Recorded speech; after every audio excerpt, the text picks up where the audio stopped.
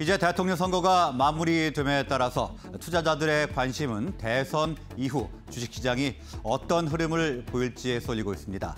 우리 증시가 미 연방준비제도의 대대적인 긴축 예고와 우크라이나 전쟁, 최악의 인플레이션 속에서 연일 고전하고 있는 만큼 새 대통령에 대한 기대감이 자본시장에 침체된 분위기를 전환할 수 있을지 주시하는 투자자들이 많은 상황입니다.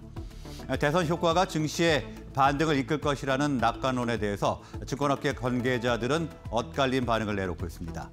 일부 전문가들은 새 정부와의 허니문 랠리가 최근 정권으로 올수록 약해지고 있다며 이번에도 상황이 별로 다르지 않을 것으로 전망하고 있습니다.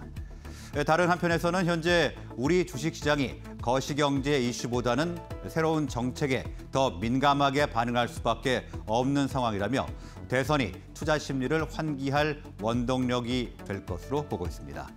다음은 오늘의 주요 뉴스 보시겠습니다. 네, 이번 대선에서 가장 뜨거운 감자는 부동산 문제였습니다. 두 후보 모두 주택 공급을 늘리겠다고 공언한 만큼 어떤 후보가 당선이 되든 부동산 관련주는 수혜를 볼 것이라는 전망이 우세했습니다. 다만 두 후보 간 공급 방법론이 달라서 구체적인 업종 전망은 달랐습니다. 윤석열 후보가 당선됨에 따라서 윤 당선자가 민간 주도 공급 확대에 초점을 맞추고 있었기 때문에 대형 건설주가 힘을 받을 것이라는 전망이 높은 가운데 공정 경쟁과 관련해 교육주에도 이목이 쏠릴 것으로 보입니다. 또 윤 당선자는 바이오 특화 지역인 오성, 호창, 대덕, 익산을 잇는 신산업 벨트를 조성하겠다고 밝힌 데 따라 바이오주의 수혜가 전망이 되고 있습니다. 제20대 대통령 선거에서 윤석열 후보가 당선됨에 따라 원자력 발전 산업의 운명도 달라질 전망입니다. 이재명 더불어민주당 후보는 사실상 탈원전 정책을 계승한 감원전 정책을 제시했고 윤석열 당선자는 건설이 중단된 원전을 다시 짓겠다고 밝힌 바 있었기 때문입니다. 윤 당선자는 이와 관련한 K-원전 발전 공약을 제시하고 건설이 중단된 원전을 다시 추진해서 원전 발전 비중을 30%대로 유지하겠다고 주장했습니다. 신한울 3, 4호기를 다시 추진하겠다는 취지입니다. 신한울 3, 4호기는 기사 회생하게 됐습니다. M&A 시장은 물론 벤처 캐피탈 업계 그리고 대선 이후 IPO를 앞둔 회사들 모두 차기 정권에서 어떤 정책이 펼쳐질지 촉각을 곤두세우고 있습니다. 윤석열 당선자는 선거운동 기간 중 증권거래세 폐지 등을 골자로 한 천만 개인 투자자를 살리는 자본시장 선진화 공약을 발표했습니다. 윤 당선자의 의무공개 매수제는 대주주가 회사 경영권을 매각할 때 소액 주주들의 주식도 같은 가격으로 매입해야 한다는 내용을 담고 있습니다. 경영권 매각을 위한 대주주 지분 취득에서 더 나아가 매수 의사가 있는 소액 주주주 소유 주식까지 동시에 인수해야 하는 구조입니다. 자, 이렇게 되면 매각 협상 과정에서 누릴 수 있는 경영권 프리미엄도 소액 주주들이 같이 받을 수 있게 됩니다.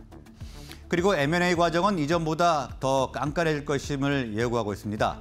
업계 관계자는 현재 거론된 공약들은 M&A 협상 단계의 난이도가 올라가는 것이어서 실제 어떤 방향으로 진행될지는 지켜봐야 할 것이라고 밝혔습니다. 네, 삼성전자가 다시 6만 원대로 하락했고 코스피 지수는 2,600선으로 밀려나 있습니다. 지난해 1월 삼성전자가 9만 6,800원으로 사상 최고가를 찍었을 때만 해도 10만 전자가 눈앞에 다가온 것만 같았는데 행복은 짧았고 그 후에 고통스러운 하락은 계속됐습니다. 천장 3일, 바닥 100일. 주식시장의 격언처럼 요즘 개인 투자자들은 주식을 저점에 사서 고점에 매각한다는 것이 얼마나 어려운 것인가를 실감하고 있습니다. 올해 연봉은 이미 다 날렸다고 말하는 주식 투자자가 수두룩한 가운데 우크라이나 전쟁과 유가 급등이라는 불확실성 속에 개인 투자자들은 매일 평가 손실이 확대되는 기회주화에 탄식 중에 있습니다. 음, 개인은 올 들어 삼성전자를 3조 5,200억 원어치 순매수하며 매물을 받아냈습니다. 같은 기간 동안 삼성전자를 가장 많이 매도한 것은 국내 기관 투자자였는데 기관은 삼성전자를 3조 4,700억 원어치 순매도한 것으로 나타났습니다. 기관이 던진 매물을 개인이 순매수한 셈입니다. 미국과 유럽 동맹이 러시아산 원유 수입 금지를 논의하는 소식이 전해지자 세계적으로 러시아 원유와 천연가스 구매를 꺼리는 움직임이 벌써 본격화하고 있습니다. 이런 가운데 중국과 러시아는 지난달 베이징 올림픽 때 푸틴 대통령의 방중 기간 중 가스, 원유 장기 계약을 체결했습니다.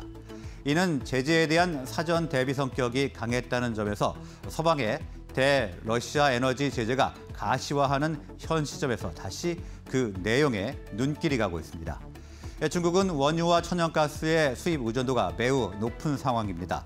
반대로 러시아는 국내 총생산의 20% 이상을 차지하는 원유와 천연가스에 경제를 크게 의존하는 나라라는 점에서 에너지는 양국 간 전략적 이해 관계가 가장 크게 맞아떨어지는 분야입니다. 중국은 러시아 등과의 에너지 대량 장기 계약이 국제적 수급 불안 속에서도 자국 경제 안정을 뒷받침해 줄 수 있는 역할을 할 것으로 기대하고 있습니다. 지금까지 주요 뉴스 보셨습니다. 다음은 오늘의 투자 전략 알아보겠습니다.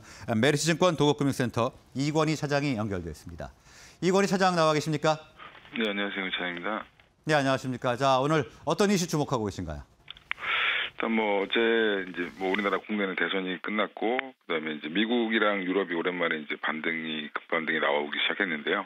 그 이유를 보면 유가가 폭락을 했는데 일단 유가가 그동안 물가에 미치는 압력이 컸고 그에 따라서 최근에 이제 에너지 관련주들이라든지 이런 쪽만 좀 주목을 받았던 시기였는데 그, 직, 그 직전에 이제 reopening 관련된 주목, 그 관련된 종목들이 주목을 받다가 우크라이나 사태 이후로 좀 잠잠해지는 모습이 나왔었거든요. 근데 그런 부분들을 좀 고려해 볼 때 다시 reopening 관련주를 좀 주목해 볼 필요가 있다고 생각하고 있고요. 코로나19가 이제 거의 정점 가능성이 제기가 되고 있고 국내 같은 경우는 그리고 이제 우크라이나 사태도 젤렌스키 대통령 대통령이 어, 협상을 할 의지가 있다. 전쟁을 좀 끝내려고 하는 그런 의지 표명을 이제 독일 언론과 하면서 우크라이나 사태도 이제 어느 정도 보면 마무리 국면 또는 상수 개념으로 가는 그런 국면으로 접어, 접어들었다고 생각을 하고 있고요. 그러면 이제 원자재 관련된 주들에 집중했던 이런 그 자금의 쏠림 현상들이 좀 완화되면서 기존의 이제 reopening 관련된 종목들에 다시 이제 음, 자금이 돌아올 가능성이 높지 않겠나 생각을 하고 있습니다.